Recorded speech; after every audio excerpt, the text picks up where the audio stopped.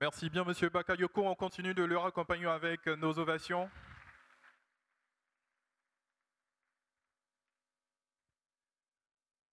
À sa suite, je voudrais accueillir euh, notre keynote speech, euh, Madame euh, Samia Shelby. Elle, quand on parle d'industrie du jeu vidéo, c'est bien son élément.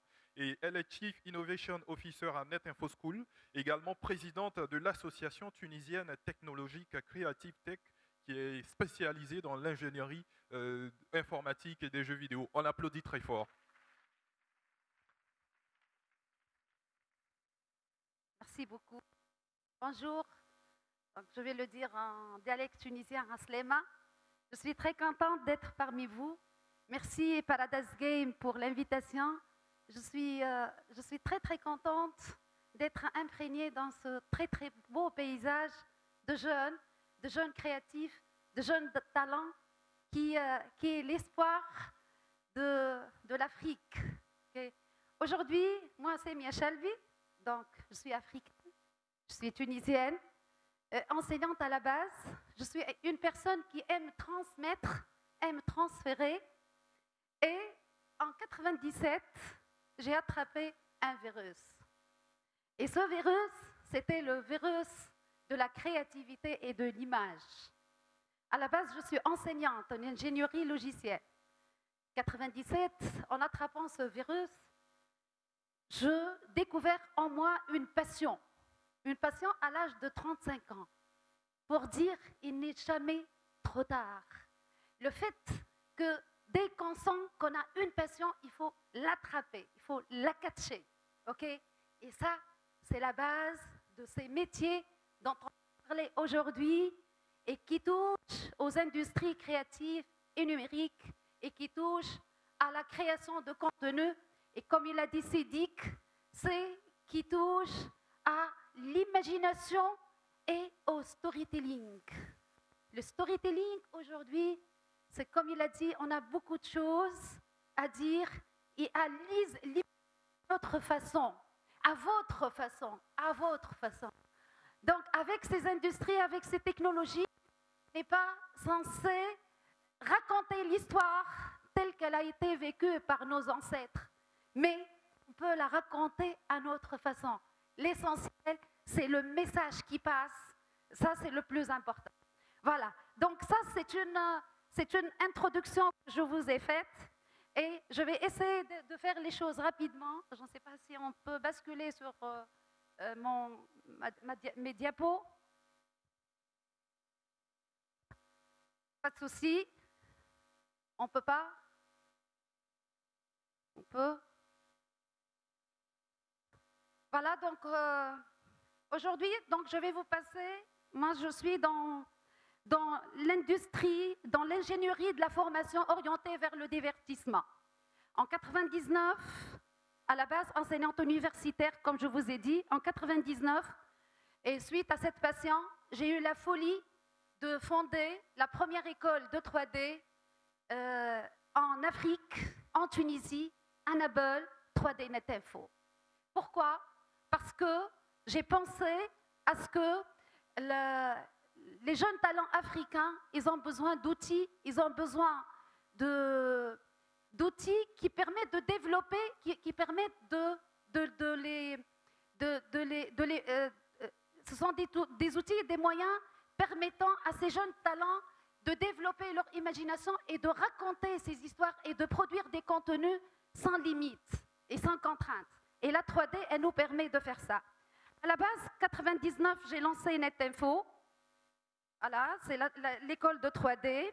Pour retrouver en 2010, lancer la première section de formation en game artiste, en jeu vidéo. Est-ce qu'on peut avoir le... S'il vous plaît?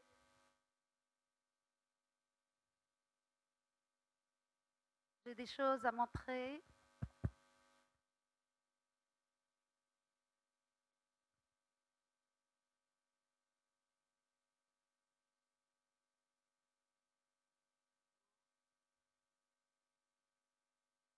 Voilà. OK. Voilà, comme j'ai dit, donc euh, c'était ma source d'inspiration, c'était cette passion, c'était la 3D. Et je, me suis, je suis spécialisée dans l'ingénierie de la formation. ok? Euh, je donne cours à l'université publique. L'école, c'est une école privée. Mais aussi, je me suis retrouvée, vu que le fait de s'investir et d'investir dans une innovation, on se retrouve d'une façon très naturelle à aller faire du social. Et c'est pour cela que je préside actuellement l'Association tunisienne des technologies créatives, Créatech, depuis 2004, qui m'a permis de, qui, m'a permis d'aller vers le social et de se lancer dans une nouvelle aventure, à savoir l'entrepreneuriat social, à travers l'accompagnement de start-up. Et on aura l'occasion, euh, lors du workshop de cet après-midi, d'en parler et de se partager l'expérience.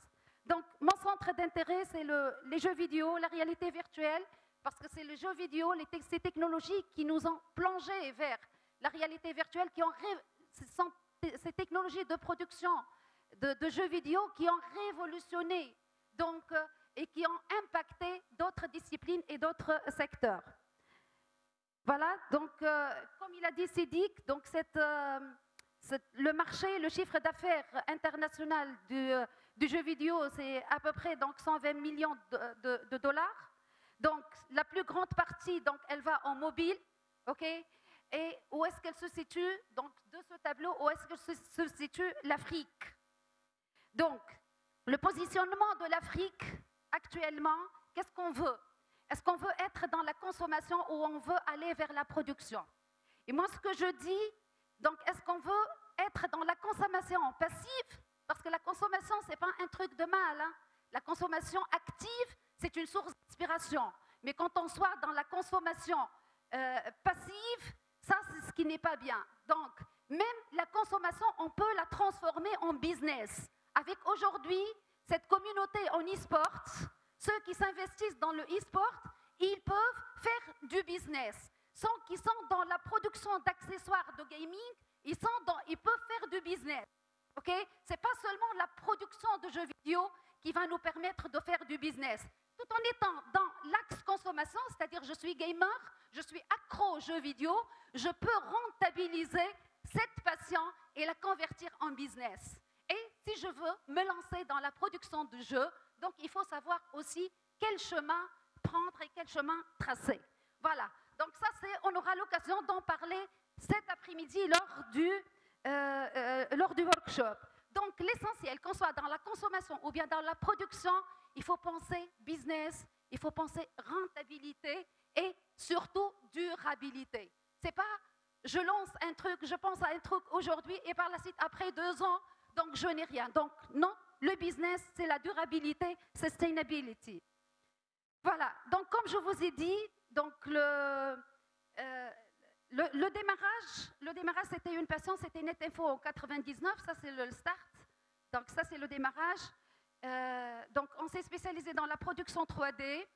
Et euh, la production 3D, pourquoi? Parce que, ça, parce que ça mélange entre les métiers, entre les parcours créatifs, artistiques et techniques. Et ce mélange que j'ai très très bien aimé et qui m'a donné une bouffée d'énergie pour que je puisse rester jusqu'à aujourd'hui et continuer et évoluer et le faire avec beaucoup, avec, avec beaucoup de passion et avec beaucoup aussi de motivation.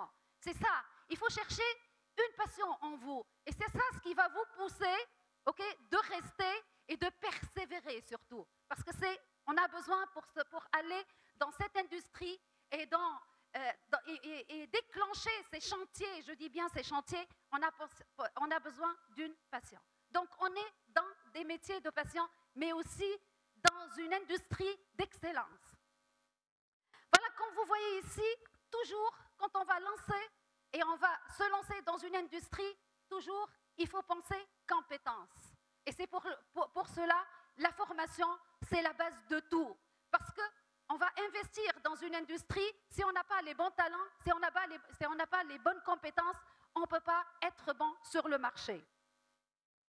Voilà, donc euh, comme j'ai dit, donc on est, on, est, euh, on est entre le codage créatif, la 3D, les jeux vidéo, l'animation, et euh, on offre des formations diplômantes accélérées Et la nouveauté, c'est la formation en ligne.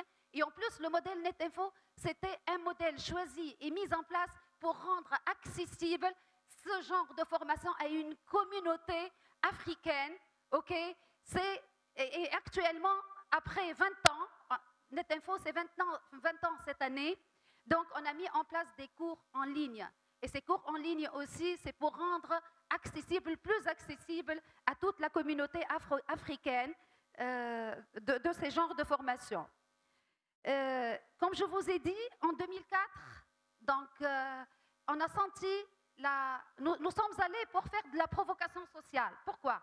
Parce que quand on s'est lancé, lancé en 99, même l'État, il n'était pas, au courant de ça. Donc il y avait, le terrain, il est très vierge. Donc on était seul à aller et à dire, voilà, ça c'est une industrie et c'est un secteur très très porteur. Et notre inspiration toujours, c'est l'Europe, c'est la France, c'est la Belgique, c'est les États-Unis. Toujours, il faut qu'on reste ouvert, nous Africains, il faut qu'on s'inspire et on a besoin de cette inspiration et de cette collaboration. Donc on a très bien étudié des modèles et on s'est dit, le jour où on pense à lancer une, innovation, qu'est-ce qu'il faut faire? Et on a trouvé la réponse, c'est aller faire du social.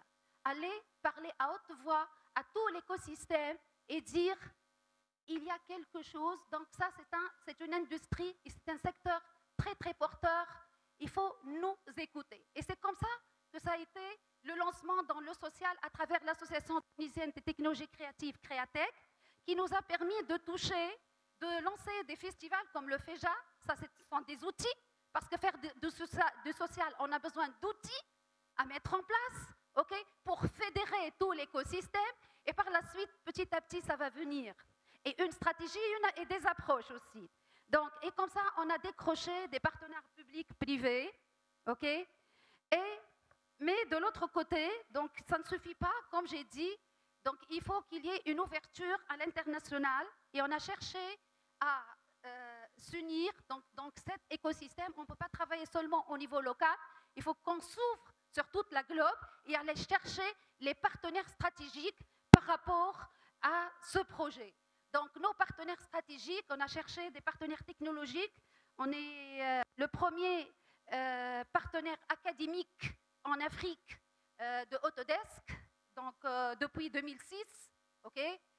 Actuellement, on a la possibilité d'accompagner les structures de formation et de former les formateurs, en plus de la certification des compétences et de la formation des compétences. On est partenaire Adobe. Aussi, on est partenaire Chaos Group pour le moteur de 2. Et actuellement, on a une collaboration avec Epic Games. Donc, en plus de ces, partenaires technologiques, ok, on a aussi des partenaires experts. Parce que, comme vous savez, euh, la formation à ces métiers de production, la formation à ces métiers de production, si on ne se rapproche pas des experts du métier, donc ça n'aura pas le bon impact. C'est-à-dire, il ne s'agit pas d'acquérir seulement des connaissances, mais surtout un savoir-faire et un savoir-être et vivre professionnel. Et ça, on ne peut l'avoir qu'en se rapprochant de studios, soit en Tunisie, soit à l'international. Et comme vous voyez ici, on travaille côte à côte avec plusieurs studios et euh, je suis très contente de voir, parce qu'avant, quand je fais la présentation, c'était seulement euh, des studios du côté nord, c'est-à-dire européens, anglo-saxons, etc. Maintenant, je suis très contente de voir Nokema, qui est le studio de jeux vidéo euh, donc à Yaoundé. Donc c'est un ancien, c'est un ex-étudiant de NetInfo, donc qui a fait sa formation en 2012. Et quand il est rentré à Yaoundé, il a lancé son studio de, jeux vidéo. Il a fait pas mal de levées de fonds. Et ça, on la considère comme étant une success story. Ce qui est bien, parce que quand ils viennent se former, ils forment un réseau entre eux. Parce que lui, il travaille avec des Ivoiriens qui ont déjà fait la formation, avec des Congolais, avec des Marocains, avec des Tunisiens. Et c'est ça ce qu'on aimerait bien euh, développer. ok? Et aussi, il y a pas mal de studios donc, tunisiens qui sont là, parmi les studios dont, on est très très fier, le, studio d'animation qui a travaillé sur Garfield. Et il y a beaucoup de gens qui ne connaissent pas qu'un studio africain en Tunisie, CGS 3D, qui a travaillé sur Garfield 3 et Mademoiselle Zazie et, et, d'autres euh, et d'autres productions au niveau international. Pourquoi je vous présente ça Pour vous dire, osez, osez, c'est possible. Il faut oser. Il ne faut pas dire, il faut oser, il faut penser grand, mais stratégiquement. C'est-à-dire, il faut avoir la bonne stratégie, les bons partenaires, et on a toujours besoin de la collaboration nord-sud, sud-sud. OK? Et ça, c'est pour pouvoir former une collaboration donc bénéfique et rentable pour tous. Voilà, donc on a des, partenaires de développement de marché comme l'African, le réseau de l'animation euh, africain, la BCA au Burkina et d'autres, parce qu'on a besoin de ce réseau. Notre force, c'est le, le, réseautage. Donc on a pu toucher plus de 10 000 euh, entre étudiants et professionnels, euh, plus de 15 pays africains, ok, plus de, 20 prix nationaux et internationaux, euh, plus on a plus de 20 partenaires et surtout, surtout notre taux de placement, c'est plus de 90%. Toutes, toutes les promotions sont absorbées par, le marché. Donc il reste en Tunisie le un tiers, le un tiers en Moyen-Orient, un peu au Canada, en Europe, et le reste, il retourne en Afrique subsaharienne. Ça aussi, c'est pour nous, une, ce sont des indicateurs de réussite de la formation. Parce que quand nos étudiants ils trouvent de, l'emploi ou bien ils se lancent pour leur propre compte, donc en ce moment on peut dire, voilà, donc on a bien réussi notre mission, mais l'expérience et l'aventure continuent. OK, en 2015, donc entre le, public, le privé, je suis entrepreneur au sein de NetInfo, mais j'ai continué à exercer ma, ma, fonction de base enseignante à l'Institut supérieur aux études technologiques de Nabel, de Nabel donc c'est une région en Tunisie, pour enseigner les codeurs. Pour enseigner les codeurs. Et pourquoi j'ai insisté à rester dans l'université publique? Parce qu'à l'école NetInfo, on forme les artistes, ok? Et au public, je forme les codeurs. Parce qu'en comprenant cette industrie, on, comprend directement qu'on a besoin de tout et on a besoin d'autres spécialités et on a besoin de créer une synergie et cette fusion les artistes, les techniciens, etc. Et comme je vais le présenter cet après-midi, donc, euh, et, je suis restée à l'université pour sensibiliser et pour dire aux développeurs que nous formons aux spécialités que je trouve classiques parce que certes, on a un chômage très très important, mais quand on regarde le besoin international du marché, on comprend directement c'est que on a, on a tort parce qu'il faut qu'on révise notre façon de voir les choses. Un développeur informaticien, oui, c'est bien, il a une très bonne base, mais on peut lui rajouter une couche, un layer de euh, développement jeux vidéo, et comme ça, il devient un développeur de jeux vidéo. Et de plus, j'ai découvert qu'il y a beaucoup d'étudiants qui sont passionnés. La majorité, la majorité, ils sont passionnés, ils sont accros aux jeux vidéo. Et le fait de découvrir que c'est possible, ça, ils se transforment d'une façon très, très, très naturelle. Donc, ça, euh, ça c'est d'une part. D'autre part aussi, parce que c'est beau de penser à intégrer un, un studio de jeux vidéo, mais de l'autre côté, sachez très bien qu'il y a des métiers il y a différents profils. Et il faut la réussite d'un studio ou bien d'une start-up, c'est la fusion de l'équipe. C'est le mindset du, studio. Et c'est pour cela qu'il faut que ces profils apprennent à travailler ensemble. Donc, j'étais en mode recherche permanent. Comment faire cette fusion? Donc, travailler avec les développeurs, essayer de comprendre leurs points positifs, leurs points négatifs. Travailler avec des artistes aussi, et cette expérience en 2015, et je me suis retrouvée à un certain moment euh, en train de faire beaucoup de choses entre le public, le privé et l'associatif sans avoir une méthodologie. Et à un certain moment, en 2014, j'ai senti que je suis perdue dans tout ce que je suis en train de faire. Et hop, 2014, je catch et je capte le concept Living Lab. C'est un concept qui a été initié par European Network of Living Labs, okay, à Bruxelles. C'est une organisation initiée par l'Union européenne, okay, auquel siègent des chercheurs universitaires. Et cette organisation est partie de la problématique suivante. Pourquoi la recherche fondamentale n'est pas en train d'impacter le citoyen, le people? Et de là, ils ont fait un review, ils sont revenus pour mettre en place une méthodologie, une méthodologie de management de projets de type 4P. Public, private, ils ont rajouté quelle dimension? La dimension people partnership. Et ça, c'est la dimension qu'il faut qu'on rajoute. Parce que si on ne pense pas, start-up, euh, programme de formation, centré sur l'humain. OK? Donc, aucun projet ne réussit. Et ça, le fait de le découvrir et d'apprendre ça, donc c'était, j'ai respiré et je me suis dit, voilà, il faut que je mette tout sous ce chapeau, cette umbrella de Living Lab, et j'ai monté le DigiArt Living Lab, le DAL, le DAL, qui est certifié, qui est labellisé European, par European Network of Living Labs. ok?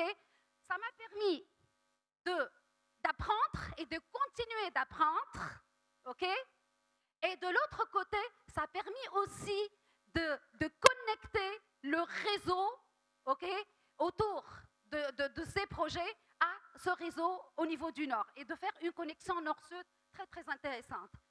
Un projet Living Lab, c'est très très simple. Donc, quand vous pensez, vous êtes, par exemple, vous êtes des gamers. Je prends un exemple très très basique. Vous êtes des gamers. Et pourquoi je prends l'exemple le, de gamer et le e-sport? Toujours pour montrer que, à part, je peux devenir euh, un champion du monde. Oui, mais de l'autre côté, je peux mener des projets aussi très intéressants. OK? Donc, euh, nous sommes des gamers, on maîtrise les stratégies de jeu et on maîtrise, et on a la possibilité de manager des gamers. OK? Donc, ça, c'est, on se réunit, cet ensemble de gamers, pour la mise en place d'un projet qui va impacter le social. Par exemple, qui va impacter des enfants, le côté social end user, qui va impacter des élèves qui sont à l'école. On va les impacter de, telle sorte, on va leur apprendre comment ils vont gérer leur temps et comment ils vont équilibrer et balancer entre leurs études, leur éducation et leur passion, le jeu. Et c'est comme ça qu'on gagne sur le plan social. Ça, c'est parmi les projets auxquels, c'est-à-dire toute communauté qui est experte dans un domaine, peuvent se réunir autour de ce concept pour faire de l'innovation sociale et co-créer, je dis bien co-créer des projets euh, avec le end user, avec le bénéficiaire final. Et ça, c'est un concept très, très intéressant qui m'a permis euh, de, mieux structurer et de voir les choses autrement. Voilà.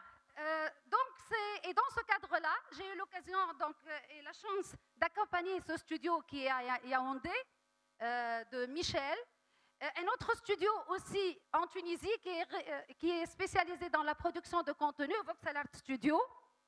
Et ce qui est bien, euh, de, tout ça, j'ai mis un an ici. Un an d'un jeune qui est venu du Cameroun, qui s'appelle Adnen Chomet. Adnen Chomet, c'est un, un autodidacte qui n'a pas de diplôme, mais c'est quelqu'un de très passionné. Il n'a pas de diplôme aucune école, il a Nokemas Game Studio. Michel, il a capté que le mec, c'est un génie. Mais aucune école ne l'a accepté. OK? Et c'est ça le modèle NetInfo. Pourquoi? Il m'a appelé pour me dire, Madame Chalp, j'aimerais bien vous confier quelqu'un. Et je lui dis, oui, le problème, oui, euh, envoyez-le, vous pouvez l'envoyer, envoyez son dossier. Mais il a dit, il n'a pas de, de papier, il n'a pas de diplôme il n'a pas. Est-ce que vous pouvez l'inscrire Je lui dis, je fais une, j'ai bien réfléchi parce que sur le plan administratif, c'est impossible. Ok? J'ai fait une connexion avec le mec. Je l'ai trouvé très intéressant. On lui a donné une chance. Quand il est venu, il avait dans sa tête, ok? Quand il est venu, et après avoir intégré NetInfo, il m'a parlé d'un studio, le premier au monde, au Suède, dans tout ce qui est production de texture 3D et de Megascan 3D. Et maintenant, actuellement, euh, ils ont annoncé une collaboration avec, euh, avec Epic Games pour ces Quixel Studio. Et quand il est venu, il m'a dit, il n'a pas de diplôme, il est bien, il a l'air bien. Mais il m'a dit, moi, moi, je rêve. Objectif, je rêve, mais c'est un objectif. OK, pour moi, j'aimerais bien intégrer ce studio. Son stage, il a fait en ligne dans ce studio. Et après deux mois de sa formation, ils ont tout préparé pour lui. Et maintenant, il est, il a, il est artiste 3D au sein de ce studio, Quixel Studio. Et en plus, et en plus il est évangéliste. Vous voyez, donc c'est, c'est ça l'histoire que j'ai bien voulu raconter. Parce que ça, c'est les modèles. Parce que les métiers de patients ne connaissent pas les, diplômes, qu'on essaye. Quand vous, allez produire un jeu vidéo, quand vous allez, soit, ça va passer de, l'émotion, soit ça va plaire aux gamers ou ça ne plaît pas. Il ne faut pas chercher vos diplômes ou bien si vous maîtrisez 3ds Max ou bien Unreal Engine ou bien d'autres. Donc c'est pour cela, rattachez à votre passion, ok? C'est le plus important. Et ne dites pas, tant mieux s'il y a, si vous pouvez avoir les diplômes, tant mieux. Si vous ne l'avez pas, s'accrochez à votre passion. Et c'est très très bien. Avec un objectif clair et un chemin bien tracé, vous allez bien réussir.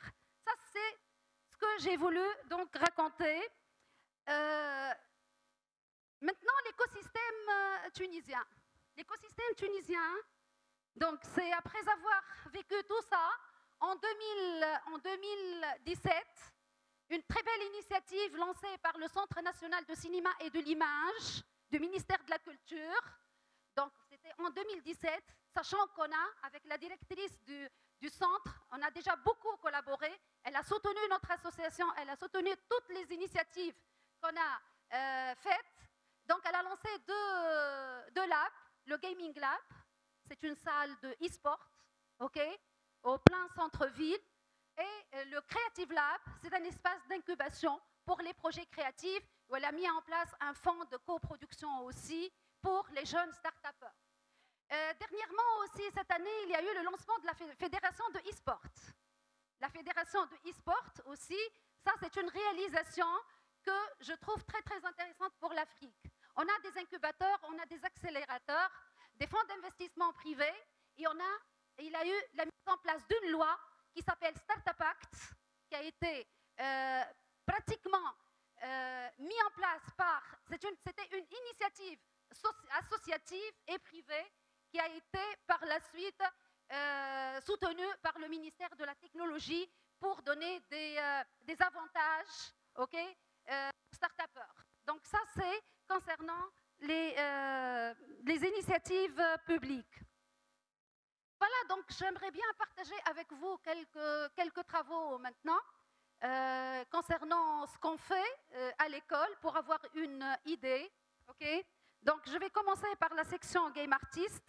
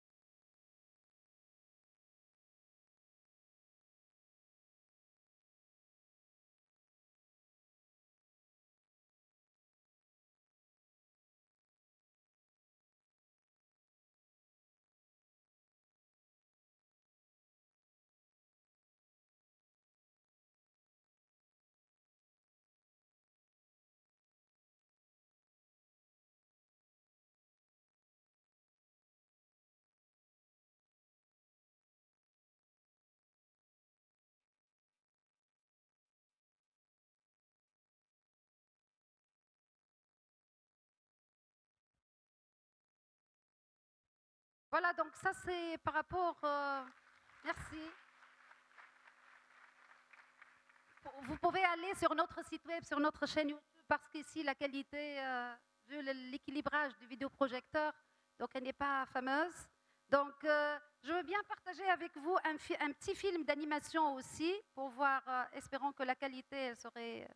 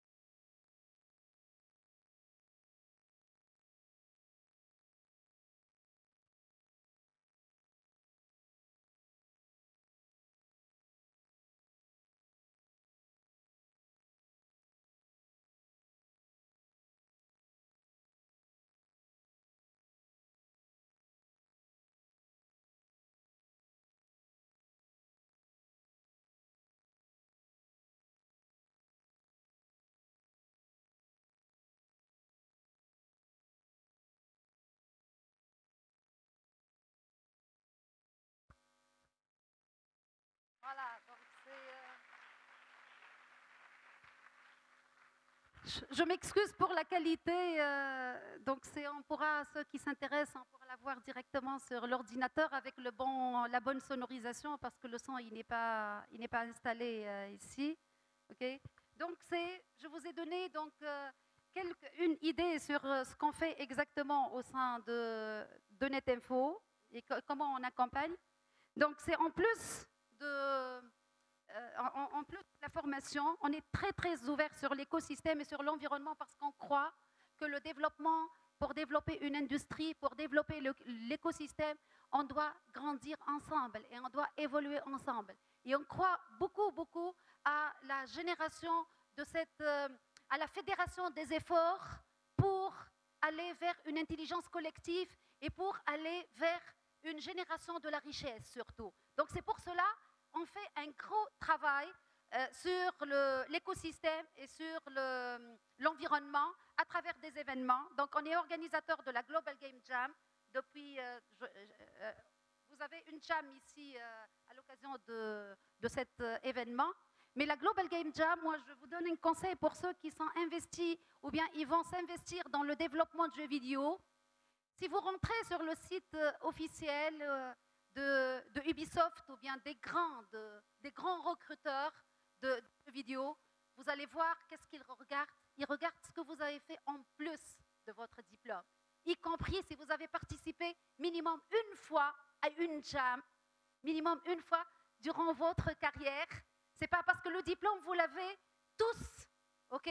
Mais ce que vous faites en plus, c'est ça ce qui va vous distinguer par rapport et qui va vous rendre plus compétitive par rapport à d'autres. Et sachant que votre compétitivité est à l'international. Parce que quand on produit un jeu vidéo, on ne le produit pas au niveau local. Quand on euh, produit un film d'animation, ce n'est pas au niveau local. C'est pour faire plaisir à toute personne et à tout passionné par ce genre de, euh, de contenu. Voilà, donc je vais partager avec vous. Euh, donc on est aussi organisateur de, la Global Game Jam Next. La Global Game Jam Next, euh, Donc, c'est la Global Game Jam, c'est la compétition internationale de jeux vidéo, OK Mais pour les moins de 18 ans. Parce que depuis 2012, donc, on a ouvert donc, un département dans le cadre de notre euh, association, ok, c'est pas dans le cadre de l'école, pour accompagner les enfants et les élèves, les élèves des écoles primaires et les élèves des collèges et des lycées. Parce que pourquoi? Parce qu'on a compris, pour faire un travail de fond, il faut, toucher ce public. Et au niveau international, ils ont mis en place la Global Game Jam Next. Donc, on est partenaire de la Global Game Jam Next, qui est une compétition pour les moins 18 ans. Aussi, euh, on est partenaire du hackathon africain ARVR, ok, qui a été lancé l'année dernière. On était sélectionné parmi les sept, pays. On était le partenaire pays par rapport à ce hackathon qui a été euh, initié par Facebook. GameZanga cette année aussi, euh, qui a été lancé par Epic Games. On est partenaire de cette, cette manifestation. Je vais partager avec vous juste une ambiance de de nos événements dans le cadre du Living Lab.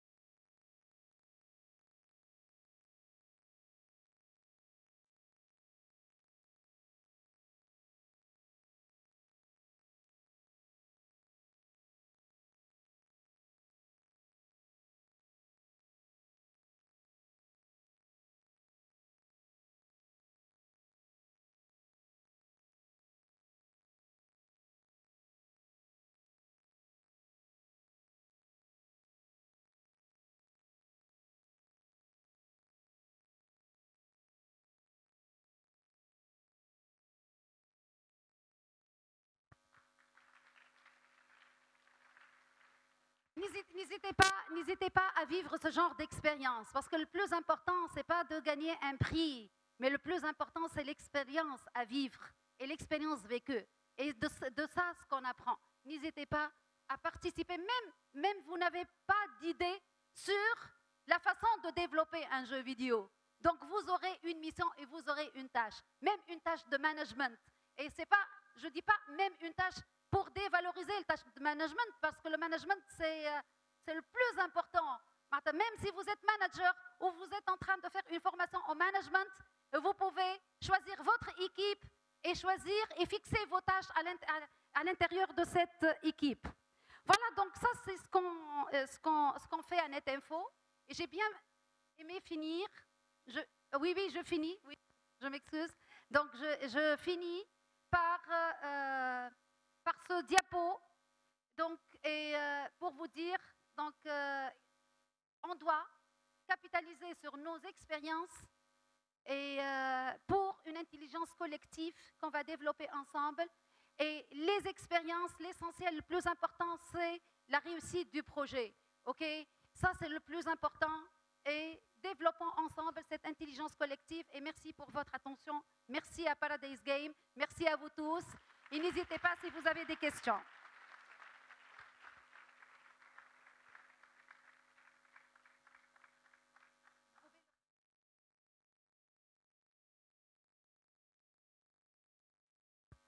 Merci bien, Samia Chetty. On l'ovationne encore jusqu'à ce qu'elle regagne sa place.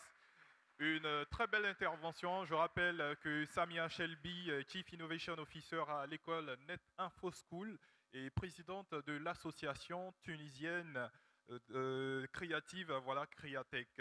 Et son intervention va nous conduire à notre premier panel sur le thème Quel écosystème pour favoriser la création de jeux vidéo africains? Et je vais éventuellement l'inviter de nouveau à nous rejoindre parce qu'elle est également participante au panel. Sur ce, on acclame encore Samia qui va nous rejoindre.